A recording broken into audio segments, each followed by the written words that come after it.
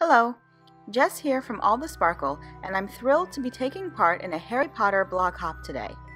Several crafters have gotten together to create cards inspired by our love of Harry Potter, and I decided to create an interactive pop up card focusing on the famous Patronuses from the Harry Potter series. I did take a few liberties with the animals I chose to represent Harry, Ron, Hermione, Ginny, and Luna, but hopefully they'll make sense with a few extra special touches. So let's get started. First, I created the Starry Night Sky background for my card by blending Distress Oxide inks onto a 5.5 by 8.5 inch piece of Tim Holtz Distress watercolor paper. I wanted the front of the card to be visible when you open the card, which is why I used such a large panel. I started by blending Wilted Violet ink onto the paper with a blending tool. Then I added Salty Ocean, covering most but not all of the purple. I also blended a little cracked pistachio ink onto the panel. Finally, I covered the panel with black soot ink. I allowed a little of the color to peek through here and there to add some dimension to my sky. Since I was using the oxide inks, which tend to stay wetter longer, I held the paper in place with a paper towel so I wouldn't get finger smudges on it. After applying the black, I added a little more cracked pistachio and salty ocean. At this point, it didn't really look much like a sky, but just wait.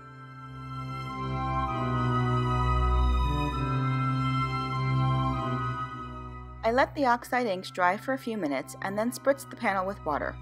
I blotted off the excess water with a paper towel and then repeated the process using a smaller water spritzer so that the droplets of water would be finer.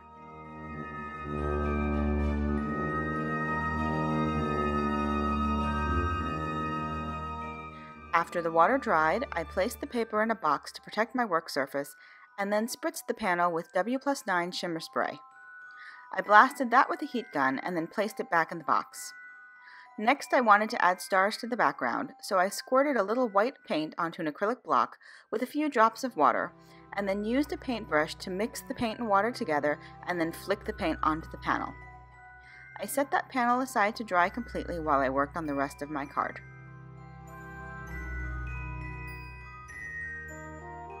I stamped several animals from various Mama Elephant sets onto Neenah Solar White cardstock with Copic friendly intense black ink and then colored them with Copics. I'll list the Copics I used on each animal on my blog for easy reference. I'm sure someone will notice that I tend to take off the ends of both markers when I work. When I first started using Copic markers a few years ago, I had lots of problems with ink blooping all over the page when I worked, and someone suggested that I take off both ends to equalize the pressure in the marker. As someone who was just beginning, I thought that they meant to take off the ends the entire time you were working, versus just uncapping them to equalize pressure, and then putting one back on. So it really just became a bad habit of mine that I take both ends off. It's absolutely not necessary to do that.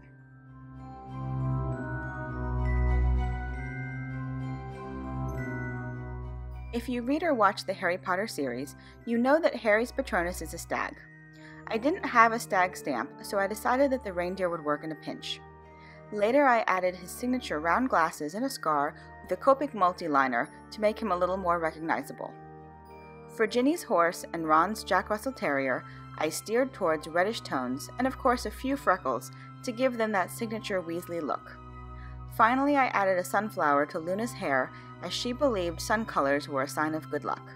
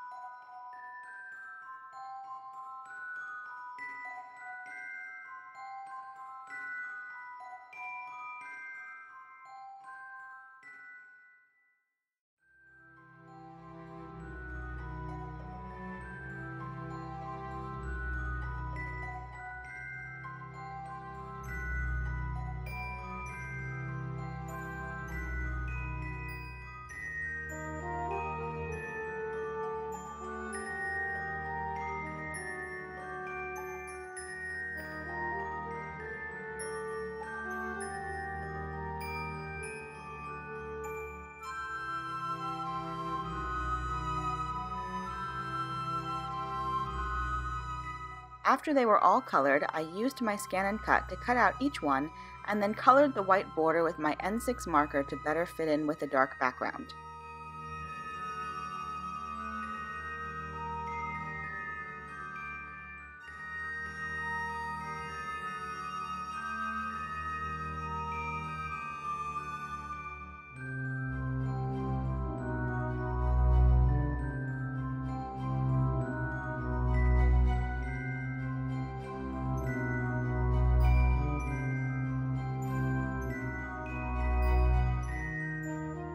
And then it was assembly time. First, I prepped my night sky panel with my powder tool and stamped the sentiment from Simon Says Stamps, If the Hat Fits, on the top half of the panel with Versamark before heat embossing it with silver embossing powder.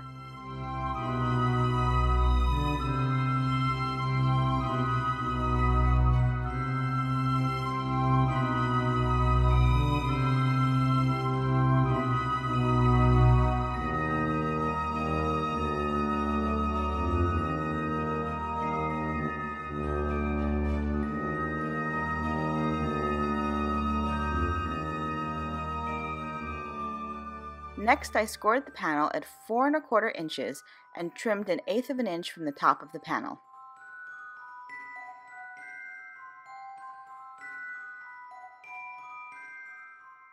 Next, I took a 5.5 by 8.5 inch panel of black cardstock that I scored in half and tucked the Galaxy panel around the top half of the black cardstock to create my card base. At the top of the fold on the black cardstock, you can see that I traced a half circle with a pencil, which will be used to create a notch for my night sky panel. I used an X-Acto knife to cut along that half circle and then erase the pencil markings. I checked to make sure the notch would fit and then set it aside. Before going any further, I ran my night sky panel through my Big Shot to die cut three stars from the top left corner of the bottom half of the watercolor night sky panel. There are three stars at the top of the pages in the Harry Potter books, and I thought this would be a fun way to tie that into my card design. After I die cut the stars, I tucked the night sky panel around the black cardstock base and traced the stars onto the black panel. I wanted the stars to shine with LED stickers, so I needed to see where I'd want to place each light sticker on the black cardstock. I used the template from Chibitronics to trace the triangular lights over the stars and marked the negative and positive side of each sticker. Finally, I lightly sketched the circuit template onto my card for reference. No matter how many times I use Chibitronics LED stickers, I always like to sketch out my template before I begin.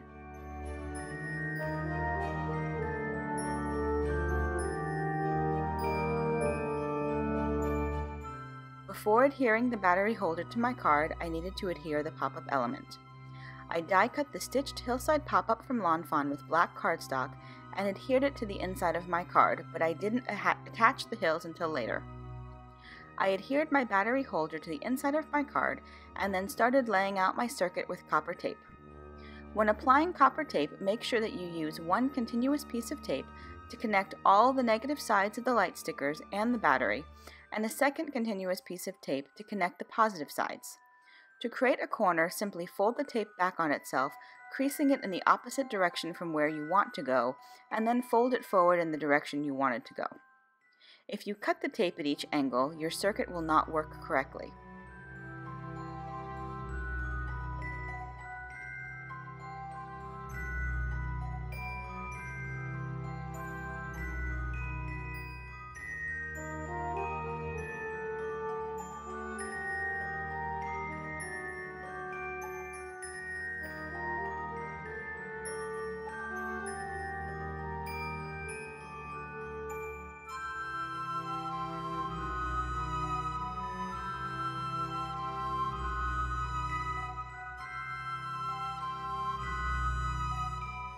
After applying the copper tape, I added each light sticker and then tested the circuit by placing the battery in the holder. I didn't want the words or design of the light sticker to be visible through the card, so I took a scrap piece of vellum, folded it three times, and adhered that behind the die cut stars. The triple layer of vellum allows the light to shine through, but hides the actual sticker. I applied Spectrum Noir clear sparkle to the vellum to make my stars extra sparkly.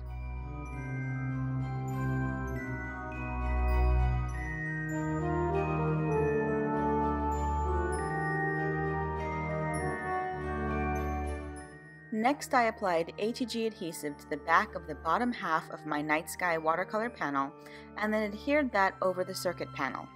Since the battery is on the bottom of the actual card base, hidden behind the pop-up, you don't need to use foam mounting tape as the card is fairly flat except for the actual battery.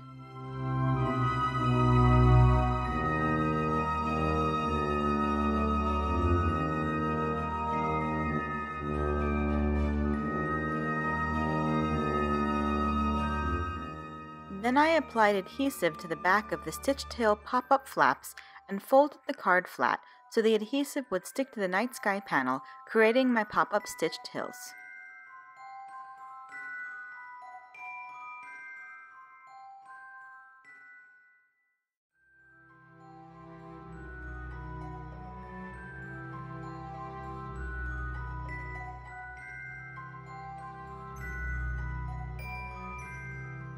I decided to go over the edges of my animals with my N6 Copic marker to cover up any white cardstock showing through, and then adhered Luna Sunflower to her ear using glossy accents.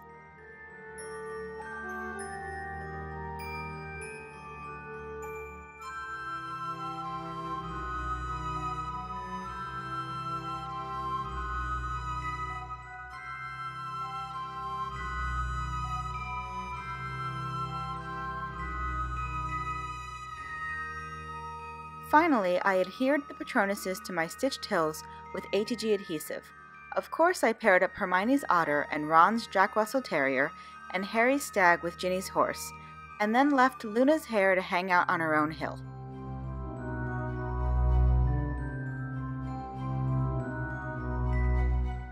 And here's the card all closed up and tucked in. You can see why I trimmed the night sky panel a little shorter so that it would tuck neatly into the notch. You can open the card like a regular greeting card and the animals pop up to greet you.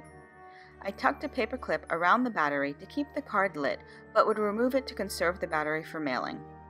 To make your night sky even grander, you can untuck the panel from the notch and unfold it to reveal the entire night sky and sentiment.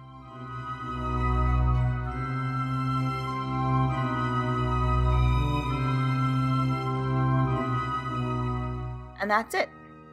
Every stop on the hop is giving away a prize, so head to my blog for all the details. You can find links to all of the products I used, including a list of Copic markers, in the YouTube description below or on my blog. If you liked my video, please give it a thumbs up and click the subscribe button so you won't miss any of my future videos. Thanks so much for watching, have a fabulous day, and happy crafting. Bye!